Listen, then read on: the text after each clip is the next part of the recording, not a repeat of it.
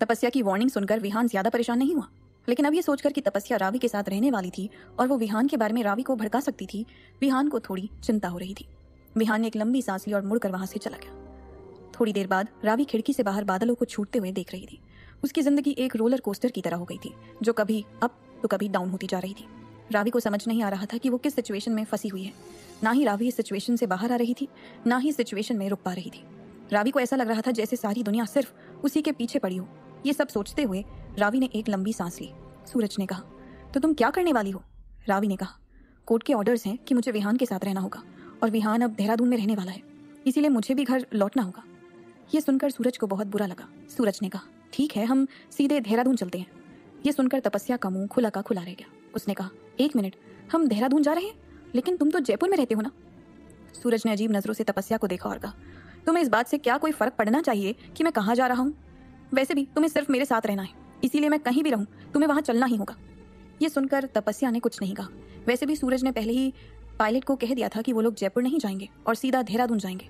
उन सबका सामान पहले ही देहरादून पहुँचा दिया गया था, जब रावी कोर्ट की हेयरिंग में बिज़ी थी।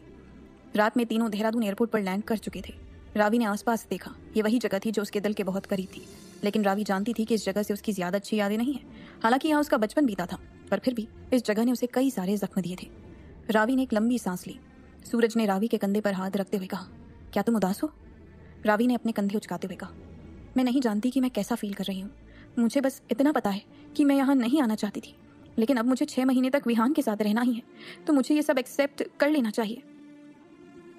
सूरज ने कुछ नहीं कहा। असल में उसे रावी के जाने से बहुत बुरा लगने वाला था, पर उसने सच्चाई को एक्सेप्ट करने का फैसला किया था। वैसे भी, सूरज हमेशा से जानता था कि वो रावी को नहीं पा सकता है, इसीलिए उसने कभी अपने दिल में रावी के लिए ज़्यादा फीलिंग्स डेवलप नहीं होने दी थी। पर इतने समय तक रावी के साथ रहने के कारण उसका लगाव रावी के प्रति काफ़ी बढ़ गया था। साथ ही वो अण्य को भी काफ़ी पसंद करने लगा था। सूरज नहीं जानता था कि वो उन दोनों के बिना कैसे रहेगा। सूरज ने अनजाने में कहा, पता नहीं मैं तुम दोनों के बिना कैसे रहूँगा? रावी ने मुड़कर सूरज की तरफ़ देखा। सूरज का चेहरा उदास था। ये देखकर रावी भी उदास हो गई। उसने धीरे से सूरज को गले लगाते हुए कहा थैंक यू मेरे लिए इतना सब करने के लिए। मेरे काले कौए ये सुनकर सूरज हंसने लगा और उसके साथ रावी भी हंसने लगी। पर कोई था जिसे स्पेशल और प्यारा मूवमेंट देखकर जलन हो रही थी। तपस्या अपने हाथ बांधकर उन दोनों को घूर रही थी। तपस्या ने खुद से कहा, क्या ये दोनों इतना लवी डबी होना बंद कर सकते हैं? कम से कम इस लड़की को तो सूरज से दूर हो जाना चाहिए। अब जब इसका हस्बैंड वापस आ चुका है और इसे उसके साथ रहना है तो ये सूरज के साथ अफेयर बनाने की कोशिश क्यों कर रही है? ये कहते हुए तपस्या की नज़र रावी के हाथों पर थी, जिसने सूरज के हाथों को पकड़ा हुआ था। तपस्या को ऐसा लग रहा था कि वो रावी के हाथों को काट दे। सिमरन, जो कि तपस्या के साइड में ही खड़ी थी, उसने अनजाने में ही मुस्कुराते हुए कहा, सच में सर और मैडम की जोड़ी बहुत अच्छी लगती है, पर शायद उन दोनों की किस्मत में साथ रहना लिखा ही नहीं है। जैसे ही सिमरन ने अपनी बात खत्म की, उसे महसूस हुआ कि कोई उसे बुरी तरह घूर रहा है। सिमरन ने अपना सिर उठाया और देखा कि तपस्या की नज़र उस पर ही थी। सिमरन जल्दी से आगे बढ़ी। थोड़ी देर बाद सभी लोग देहरादून एयरपोर्ट के बाहर थे। रावी ने देखा थोड़ी दूरी पर एक कार खड़ी थी, जिसके सामने दो मिलिट्री सोल्जर्स खड़े हुए थे। उन सभी ने मिलिट्री यूनिफॉर्म पहना था और वो किसी की तलाश में थे। एक सोल्जर के हाथ में रावी के नाम का बोर्ड था। रावी ने एक लंबी सांस ली। उसे नहीं पता था कि उसे एयरपोर्ट से ही विहान के घर जाना होगा। सूरज ने भी उन लोगों को देख लिया था। सूरज ने रावी के सिर को थपथपाते हुए कहा, अपना और अरने का ख्याल रखना और मुझे समय पर फ़ोन करते रहना। मैं कोशिश करूँगा कि मैं तुमसे मिलने आऊँ। रावी ने आँसू भरी आँखों से सूरज को देखा और हाँ में सिर हिला दिया। उसके बाद वो सिमरन के साथ आगे बढ़ गई। रावी ने पहले ही विहान से बात कर ली थी और उसे बता दिया था कि सिमरन अरने की बेबी सिटर है और वो रावी के साथ ही रहेगी। विहान को इस बात से कोई ऑब्जेक्शन नहीं था, इसीलिए उसने हाँ कह दिया था और सिमरन भी इस बात के लिए मान गई थी। उसे वैसे भी सिर्फ़ काम करने से मतलब था। भले ही उसे पैसे कोई भी दे, फिर भी उसे रावी और सूरज का अलग होना थोड़ा बुरा लग रहा था। सिमरन ने मुड़कर सूरज की तरफ़ देखा और मुस्कुराते हुए कहा, सर, आप बहुत ज़्यादा अच्छे इंसान हैं। आपके साथ काम करके मुझे बहुत खुशी हुई। मैं अरण्य और रावी मैम का ख्याल रखूँगी। आप उनकी चिंता मत कीजिए। सूरज ने हाँ में सिर हिलाया, जिसके बाद सिमरन रावी के पीछे चली गई। जब वो उस कार के पास पहुँची तो वो सोल्जर तुरंत उसे पहचान गए। रावी ने देखा सोल्जर्स के साथ अजय भी खड़ा हुआ था, जिसने रावी के लिए दरवाज़ा खोला था। अजय के होठों पर एक बड़ी सी मुस्कुराहट थी। रावी बिना कुछ कहे कार में बैठ गई और उसके साथ सिमरन भी बैठ गई। कार के वहाँ से जाने के बाद सूरज ने एक लंबी सांस ली। वो अपने अंदर के इमोशंस को कंट्रोल करने की कोशिश कर रहा था। अभिषेक ने आगे आते हुए कहा, सर, हमें भी घर जाना चाहिए। ये सुनकर सूरज ने हँसते हुए कहा, घर? सूरज ने इस शब्द को इतनी दर्द भरी आवाज़ में कहा था कि अभिषेक के दिल में भी दर्द होने लगा था। हाँ सूरज का एक घर था, लेकिन वो घर उस जगह पर था जहाँ उसके साथ रावी रहती थी।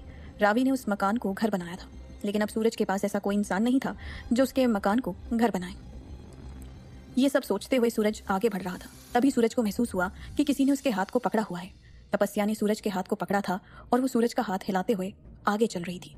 तपस्या ने कहा, चलो मैं देखना चाहती हूँ तुम्हारे पास और कौन सा घर है? सूरज ने एक लंबी सांस ली। वो भूल गया था कि उसके पास अभी भी एक जोकर है।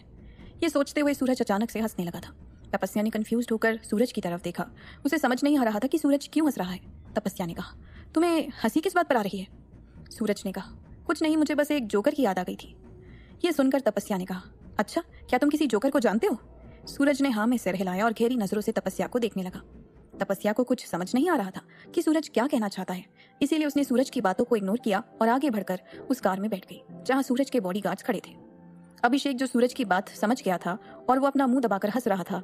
सूरज ने जब अभिषेक को इस तरह हँसते देखा तो उसने अभिषेक को घूरा और कहा, खबरदार, जो तुमने उसे ये बताया कि मैं उसके बारे में बात कर रहा था। अभिषेक ने हाँ में सिर हिलाया। उसे लग रहा था कि उसके सर अभी भी ठीक हो सकते थे। शायद तपस्या सूरज की लाइफ में एक एंजल की तरह आई थी।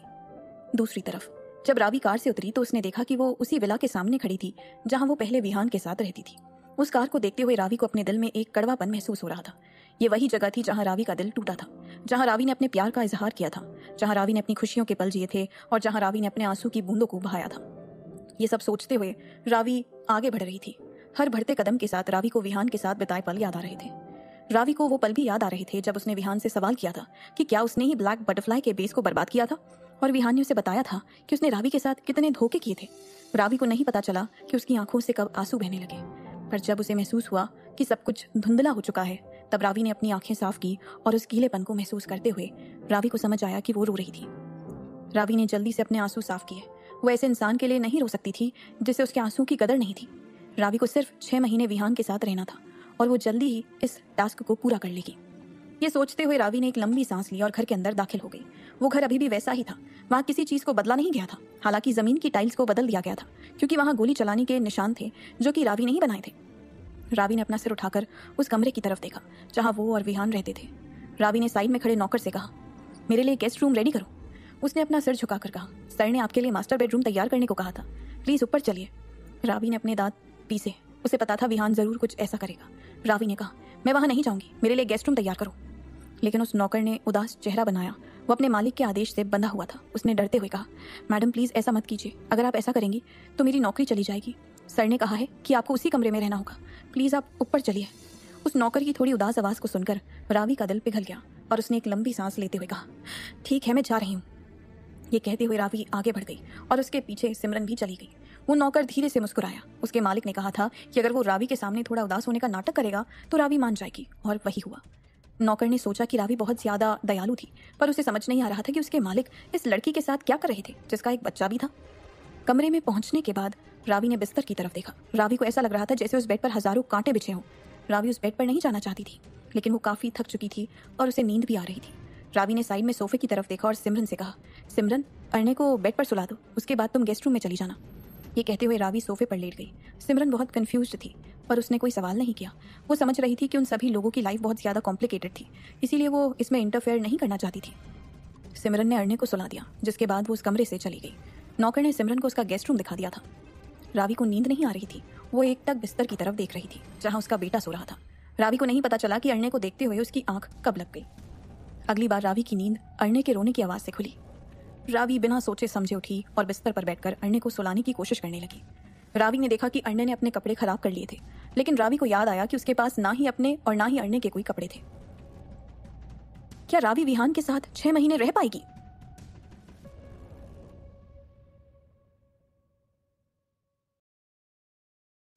रावी को समझ नहीं आ रहा था कि वो क्या करे। वो कंफ्यूज होते हुए अलमारी के पास गई और उसने अलमारी को खोल दिया। अलमारी खुलते ही रावी का दिल काँप गया। अलमारी के एक तरफ़ रावी के कई सारे कपड़े रखे थे और दूसरी तरफ़ अरने के लिए कई सारे कपड़े रखे हुए थे। रावी ने अपने आप को संभाला और अरने के लिए कुछ कपड़े लेकर अरने के पास चली गई। फिर रावी वॉशरूम में गई। रावी ने देखा वहाँ पर भी कई सारे बेबी प्रोडक्ट रखे थे। रावी को समझ नहीं आ रहा था कि उसका दिल इतना बेचैन क्यों हो रहा है। रावी ने खुद को शांत किया और अरने को अच्छे से साफ़ करके उसे दूसरे कपड़े पहना दिए, जिसके बाद अरने रावी को देखने लगा। अरने के हाथ अभी भी रावी के बालों को मुट्ठी में भींचे हुए थे और वो अपनी बड़ी बड़ी नीली आँखों से रावी को देख रहा था। रावी मुस्कुराई और वहीं लेटकर अरने के सिर पर हाथ फेरने लगी। थोड़ी देर बाद रावी को नींद आ गई और अरने भी सो गया। सूरज के घर। तपस्या घूर कर सूरज को देख रही थी। तपस्या ने दोबारा मुड़कर अपने कमरे की तरफ़ देखा। उसका कमरा सूरज के कमरे से बहुत ज़्यादा दूरी पर था। तपस्या ने चिड़ते हुए कहा, सूरज, तुम्हें लगता है कि मैं तुम्हारे कमरे में घुस जाऊँगी? जिस कारण तुमने मुझे घर का सबसे कोने वाला कमरा दिया है। सूरज ने अपने सिर की मसाज करते हुए कहा, मैंने तुमसे ऐसी कोई बात नहीं कही है। वो तुम हो जो ऐसी चीज़ सोच रही हो। मैंने तुम्हें वो कमरा इसीलिए दिया है क्योंकि वो एक कंफर्टेबल रूम है। अभिषेक जो पीछे खड़ा था, वो काफ़ी कंफ्यूज दिख रहा था।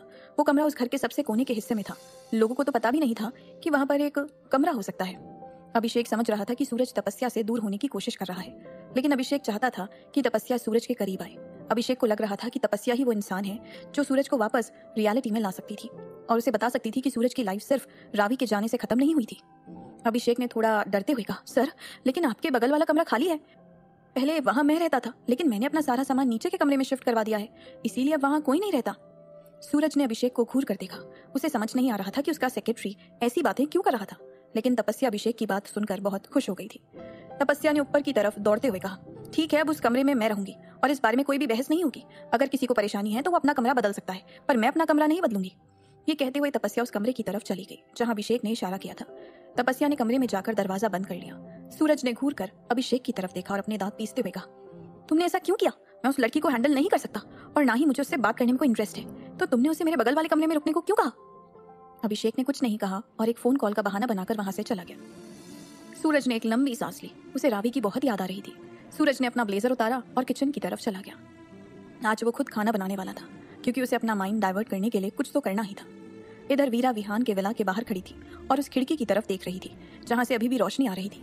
वीरा की आँखें खाली थी और उसकी नज़र उस खिड़की पर ही थी। वीरा चाहती थी कि वो उस कमरे में जाकर अपनी बहन को गले लगा ले, लेकिन उसमें इतनी हिम्मत नहीं थी, पता नहीं क्यों, उन दोनों के बीच इतना बड़ा फासला आ गया था, जिसे वो मिटा नहीं पा रहे थे। वीरा को नहीं पता चला कि उसकी आँखों में कब आँसू आ गए, पर उसने जल्दी ही उन आंसुओं को आँखों से साफ़ कर दिया और धीरे से कहा, मैं जल्द ही तुम्हें अपने साथ ले जाऊँगी।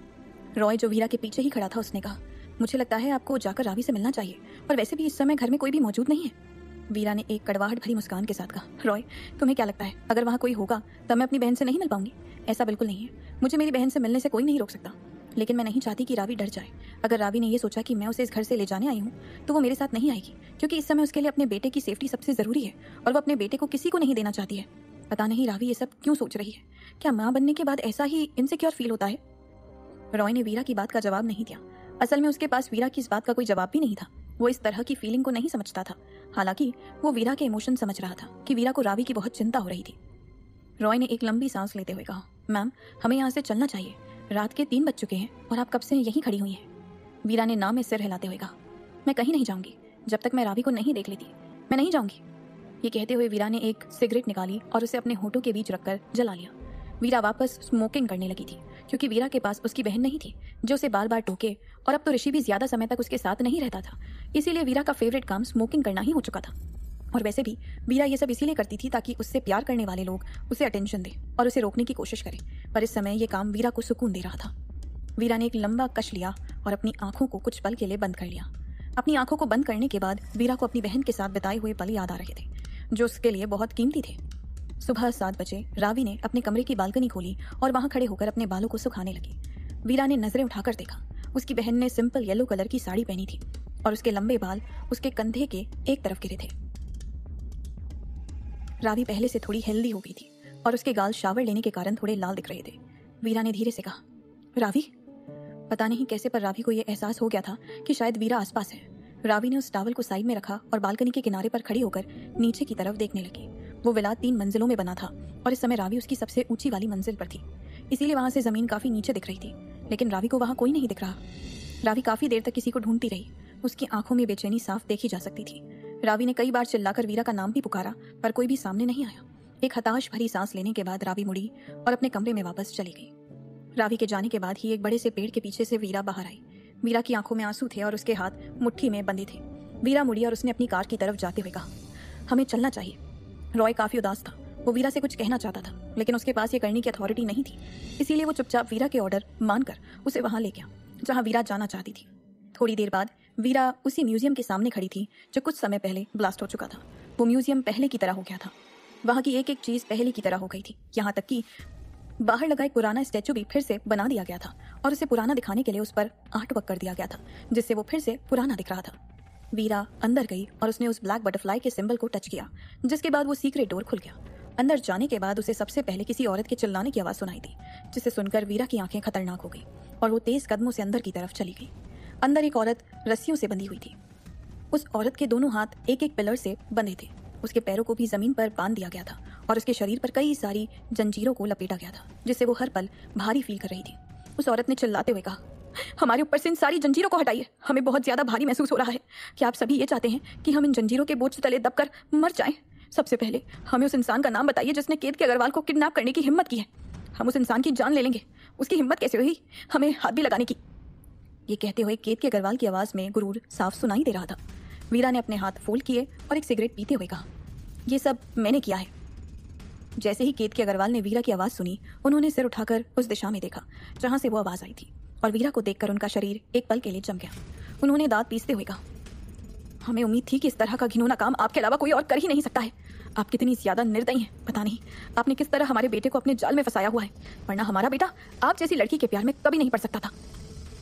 ये सुनकर वीरा ने एक अजीब से भाव के साथ केत के अग्रवाल की तरफ़ देखा और कहा, अब इस बात से क्या फ़र्क पड़ता है? आपका बेटा पहले ही मेरे प्यार के जाल में फंस चुका है और मैंने उसे पूरी तरह कंट्रोल करके रखा है।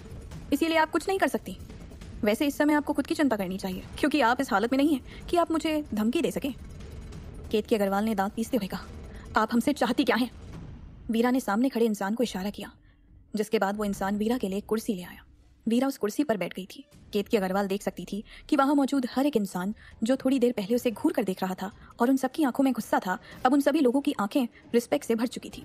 उन सभी ने अपना सर नीचे झुकाया हुआ था और एक शब्द भी बोलने की हिम्मत नहीं कर रहे थे। केतकी अग्रवाल बहुत कंफ्यूज थी। उन्हें समझ नहीं आ रहा था कि उस जगह पर क्या हो रहा है। केतकी अग्रवाल ने कहा, आप सब इस औरत से क्यों डर रहे हैं? ये हमारा कुछ नहीं बिगाड़ सकती। आप सब हमें छोड़ दीजिए और हमारी बात उस इंसान से करवाइए, जिनसे आपको हमें कैद करने के लिए पैसे दिए हैं। हम उस इंसान को इतने पैसे देंगे कि वो अपनी पूरी ज़िंदगी बिना काम के बिता सकेगा।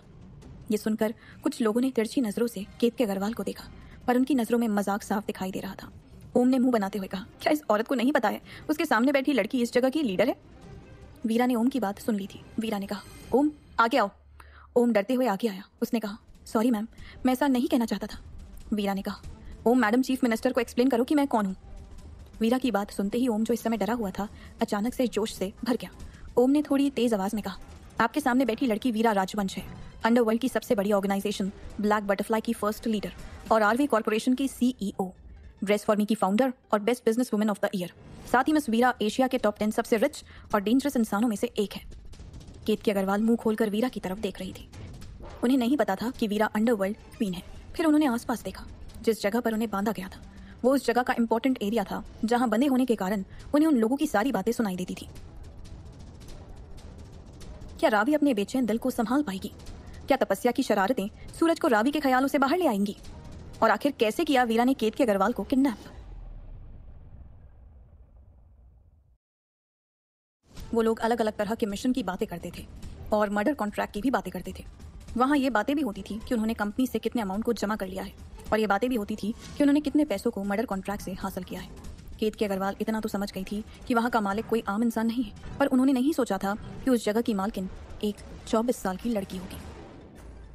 केत के अग्रवाल ने अपने डर को छुपाते हुए कहा आप सब झूठ कह रहे हैं। ये लड़की यहाँ की मालकिन नहीं हो सकती। इसने ज़रूर आप सबको ऐसा कहने के लिए पैसे दिए होंगे। वीरा उठकर खड़ी हुई। उसने सिगरेट को ज़मीन पर फेंका और उसे अपने जूतों से मसलते हुए आगे की तरफ़ आ गई। वीरा केत के अग्रवाल के सामने खड़ी हुई और उसने अपने एक हाथ से केत के अग्रवाल के चेहरे को पकड़ते हुए कहा, अगर ऐसी बात है तो मैं तुम्हें अभी साबित कर देती हूँ कि मैं क्या कर सकती हूँ। ये कहते हुए वीरा के नाखून केत के अग्रवाल के चेहरे में धसते जा रहे थे। केत के अग्रवाल ने बोलने की कोशिश करते हुए कहा, हमें हमें छोड़ दीजिए। वीरा ने एक झटके से केत के अग्रवाल का चेहरा छोड़ दिया, जिससे उनका चेहरा एक तरफ़ छुप गया। केत के अग्रवाल ने सामने देखा। अब वो पहले की तरह सुंदर और एलिगेंट नहीं दिख रही थी, बल्कि वो बहुत ज़्यादा अगली दिख रही थी। उनकी साड़ी काफ़ी गंदी हो चुकी थी और उनके बाल भी बिखर गए थे। साथ ही उनके चेहरे पर जगह जगह चोट के निशान थे। केत के अग्रवाल ने कभी नहीं सोचा था कि जिस तरह का सुलूक वो बाकी लोगों के साथ करती थी, एक दिन ऐसा ही सुलूक उनके साथ भी होगा। केत के अग्रवाल ने भी कई बार लोगों को कैद करके टॉर्चर किया था। पर उन्होंने कभी नहीं सोचा था कि एक दिन वो भी इसी तरह की कैद का सामना करेंगी। वीरा ने केत के अग्रवाल के सामने अपना फ़ोन दिखाते हुए कहा, मैं आपको कुछ दिखाना चाहती हूँ। ये कहते हुए वीरा ने उन्हें वो फुटेज दिखाई, जिसमें विहान और रावी साथ खड़े थे और विहान अरने के सिर पर हाथ फिर रहा था। केत के अग्रवाल ने जब विहान, रावी और उस बच्चे को साथ देखा तो उनकी आँखें लाल हो गई। वीरा नहीं जानती थी कि उनकी आँखें गुस्से से लाल थी या फिर आंसुओं से, लेकिन जब उसने केत के अग्रवाल के शब्द सुने तो उसका दिल हताशा से भर गया। केत के अग्रवाल ने कहा हमारा पोता अभी भी उस बेशरम लड़की के पास है और विहान उसके साथ क्या कर रहा है? हमें छोड़ दो। हमें उस लड़की से हमारे पोते को वापस लेना है। वो किस तरह हमारे पोते को अपने पास रख सकती है? ज़रूर, विहान उस लड़की से हमारे पोते को लेने गया होगा। हमारा बेटा जानता है कि उसे क्या करना है। इसीलिए तुम ये कभी मत सोचना कि तुम्हारी बहन हमसे जीत पाएगी। वीरा ने एक बार केतकी अग्रवाल की तरफ़ देखा और फिर अपने फ़ोन में एक वीडियो चालू कर दिया, जिसमें जज ने यह फैसला किया था कि विहान और रावी को एक साथ रहना होगा और अपने बच्चे को संभालना होगा। वीरा ने उस फुटेज में से कुछ लाइंस हटा दी थी, जिसमें जज ने यह कहा था कि अगर छह महीने बाद भी वो दोनों साथ नहीं रह पाए तो बच्चे की कस्टडी किसे मिलेगी? ये अगली सुनवाई में तय होगा, पर जो आधी फुटेज थी, उसे सुनकर ही केतकी अग्रवाल अपना दिमाग खो चुकी थी। केत केतकी अग्रवाल ने चिल्लाते हुए कहा विहान आप ऐसा कैसे कर सकते हैं? आप उस बेशरम लड़की के पास वापस कैसे लौट सकते हैं? जिसकी बहन ने हमारी ज़िंदगी बर्बाद कर दी है। हम ऐसा कभी नहीं होने देंगे। हम आप सबको मार डालेंगे।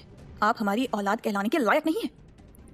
ये कहते हुए केतकी अग्रवाल की आँखें गुस्से से लाल थी। ऐसा लग रहा था कि अगर केतकी अग्रवाल को अभी कैद नहीं किया गया होता तो शायद वो विहान की जान ही ले लेती। मीरा को समझ नहीं आ रहा था कि केतकी अग्रवाल सच में एक माँ थी या नहीं, क्योंकि वो खुद अपने बच्चों को मारने की बात कर रही थी। जहाँ एक माँ अपने बच्चों के लिए अपनी ज़िंदगी दे सकती थी, वहीं केतकी अग्रवाल अपने बच्चों की ज़िंदगी लेना चाहती थी। मीरा को ऐसा लग रहा था जैसे केतकी अग्रवाल एक पत्थर दिल इंसान थी, और उसे अपने ही अंश के लिए किसी तरह की भावनाएँ महसूस नहीं होती थी। वीरा वैसे भी ऐसे इंसान के मुँह नहीं लगना चाहती थी, जो लोगों की फीलिंग से खेलता हो।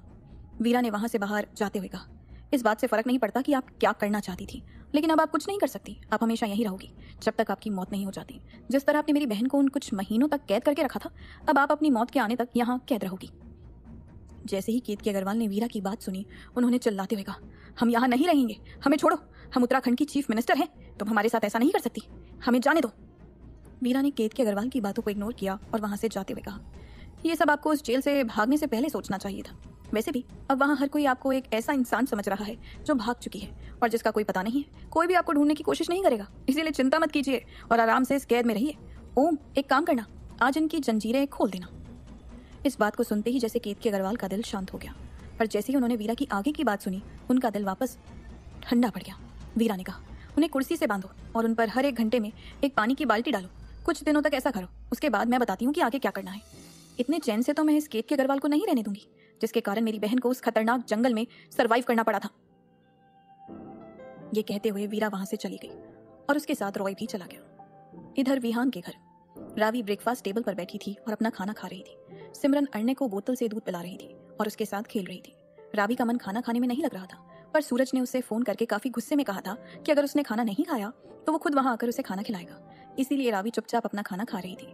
वहाँ मौजूद नौकरों ने रावी के लिए बहुत अच्छा खाना बनाया था। इसीलिए रावी को वो खाना इतना बुरा भी नहीं लग रहा था। खाना खाने के बाद रावी ने सोचा कि आज वो क्या करेगी। अब वो वापस अपने शहर आ चुकी थी, इसीलिए उसे कुछ करने की ज़रूरत थी, ताकि उसे विहान के पैसों पर डिपेंडेंट ना रहना पड़े।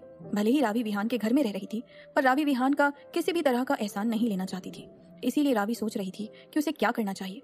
पहले रावी ने सोचा कि वो जॉब कर सकती थी, लेकिन उसे याद आया कि वो अपने किसी भी डॉक्यूमेंट को साथ नहीं लाई थी। हालाँकि वो डिजिटल डॉक्यूमेंट ऑनलाइन निकाल सकती थी, पर वो आरवी कॉरपोरेशन की सीईओ थी और उसे जॉब देने की हिम्मत कौन कर सकता था? ये सोचते हुए रावी ने एक लंबी सांस ली। तभी रावी का फ़ोन अचानक से बचा रावी ने अपने फ़ोन की तरफ़ देखा। एक अनजान नंबर से उसे मैसेज आया था। रावी ने मैसेज खोला। मैसेज में लिखा था हेलो रावी मैम मैं मिश्री, आपकी सेक्रेटरी आप काफ़ी समय से ऑफ़िस नहीं आई हैं। इसीलिए आपका काम पेंडिंग पड़ा है। क्या आप वापस ऑफ़िस ज्वाइन कर सकती हैं? रावी ने गहरी सांस ली। वो जानती थी कि उसके देहरादून आते ही उसकी बहन उसके बारे में सब कुछ पता कर लेगी, पर रावी ने नहीं सोचा था कि ये सब इतनी जल्दी होगा। रावी ने मैसेज किया, ठीक है, मुझे टाइम बताओ। मिश्री ने मैसेज किया, आप कल से ऑफ़िस ज्वाइन कर सकती हैं। वैसे भी आजकल वीरा मैम ऑफ़िस ज़्यादा नहीं आती हैं, इसीलिए काम काफ़ी ज़्यादा बढ़ गया है। रावी ने कुछ नहीं लिखा और चुपचाप फ़ोन बंद करके बैठ गई। रावी ने सिमरन की तरफ़ देखा। सिमरन अरण्य का बहुत अच्छे से ख्याल रखती थी और कभी भी कोई शिकायत नहीं करती थी। यहाँ तक कि अरण्य भी सिमरन के साथ रहने पर कभी रोता नहीं था। इसीलिए रावी ने सोचा कि उसे सच में अब ऑफ़िस ज्वाइन कर लेना चाहिए। इससे उसे विहान की मदद भी नहीं लेनी पड़ेगी और वो अपने सारे कामों को आसानी से कर सकेगी और अपनी सारी जरूरतों को भी पूरा कर सकेगी। ये सोचते हुए रावी ने एक लंबी सांस ली। वो वापस अपनी पुरानी ज़िंदगी में लौटने वाली थी, पर एक नई रावी बनकर। एक चुलबुली लड़की नहीं, बल्कि एक इंसान बनकर। क्योंकि रावी ने ज़िंदगी से काफ़ी सारे सबक सीख लिए थे। रावी ने कहा, सिमरन, कल से मुझे ऑफ़िस जाना है। क्या तुम अकेले आने का ख्याल रख लोगी? सिमरन ने बिना किसी झिझक के हाँ में सर हिलाया और कहा यस मैम मैं अरण्य का ख्याल रखूँगी। आप चिंता मत कीजिए। अगर कोई परेशानी हुई तो मैं आपको फ़ोन कर दूँगी। रावी ने हाँ में सर हिलाया और कहा, सिमरन, अगर तुम नहीं होती तो मैं क्या करती? ये सुनकर सिमरन ने कहा, ऐसा मत कहिए मैम अगर मुझे ये नौकरी नहीं मिली होती तो मैं नहीं जानती कि मैं क्या कर रही होती। मेरे लिए ये नौकरी बहुत ज़रूरी है. रावी नहीं जानती थी सिमरन को सूरज कहाँ से लाया था। इसीलिए उसे कभी भी सिमरन की लाइफ के बारे में कुछ नहीं पता था। रावी ने कहा, तुम ऐसा क्यों कह रही हो? सिमरन एक कड़वाहट भरी मुस्कान के साथ कहती है मैं पहले एक नर्स की जॉब करती थी। मेरा एक बहुत बड़ा परिवार था, पर वहाँ मुझे कोई पसंद नहीं करता था, क्योंकि मैं अडॉप्टेड थी। मेरी एक सिस्टर उसी हॉस्पिटल में डॉक्टर थी। एक दिन एक लेडी की इमरजेंसी डिलीवरी होने वाली थी, और हॉस्पिटल में किसी के ना होने के कारण मैं मेरी सिस्टर जो कि डॉक्टर थी, उसने डिलीवरी करने का फैसला लिया। मैं उसे असिस्ट कर रही थी। डिलीवरी के दौरान मेरी सिस्टर से कोई गलती हो गई, जिस कारण वो लेडी और उनका बच्चा नहीं रहे, और इसका इल्ज़ाम मेरी सिस्टर ने मुझ पर लगा दिया, जिस कारण मेरी फैमिली ने मुझे घर से निकाल दिया था, और मैं कई दिनों तक सड़क पर रही थी। एक दिन सूरज सर ने मुझे देखा और मुझसे बात की। तब मैंने उन्हें बताया कि मैं एक नर्स थी और उसी दिन सूरज सर मुझे अपने साथ घर ले आए थे और उन्होंने मुझे बताया था कि मुझे एक छोटे बच्चे का ख्याल रखना है। मुझे अपने घर पर छोड़ने के बाद सूरज सर वहाँ से चले गए थे और फिर अगली बार जब वो लौटे थे तो उनके साथ आप और अन्य थे। रावी ने सोचा, सूरज को पहले से कैसे पता था कि रावी उसे मिल जाएगी और रावी का एक बेबी होगा? रावी को समझ नहीं आ रहा था कि वो क्या कहे। उसे सूरज का कैरेक्टर कभी समझ नहीं आता था। वो बहुत ज़्यादा शांत, बहुत ज़्यादा डेंजरस बहुत ज़्यादा मिस्टीरियस और बहुत ज़्यादा केयरिंग था। पर उसकी रियल पर्सनालिटी क्या थी रावी आज तक ये समझ नहीं आया था? रावी ने एक लंबी सांस लेते हुए कहा, ये तो अच्छी बात है तो तुम हमेशा मेरे साथ ही रहना। जब अन्य बड़ा हो जाएगा, तब मैं तुम्हें एक अच्छी सी जॉब दूँगी, जिसके बाद तुम मेरे साथ ही काम कर सकती हो।